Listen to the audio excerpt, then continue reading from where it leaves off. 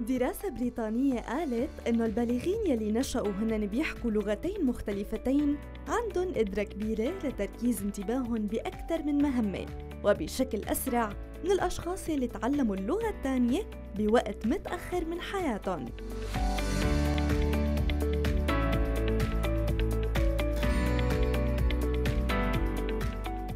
ومؤخرا أظهرت العديد من الأبحاث أن الأطفال ثنائيي اللغة بينتقلوا باستمرار بين لغتين بأدمغتهم الأمر يلي بيزيد عندهم المرونة المعرفية والقدرة على الانتباه الانتقائي. وضمن هالأبحاث انعملت تجربة شارك فيها أشخاص ثنائيي اللغة وطلب منهم يلاحظوا التغيرات يلي عم تصير للصورة الموجودة على الشاشة.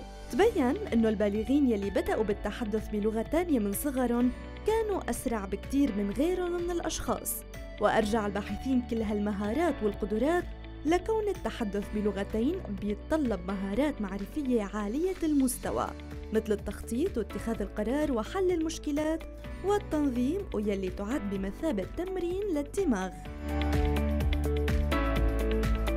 أما بالنسبة للأطفال فالسن الأمثل لتعلم اللغة الثانية هو ثلاث سنوات والفوائد العقلية للبدء بهذا العمر تستمر مع نمو الأطفال لسن الرشد.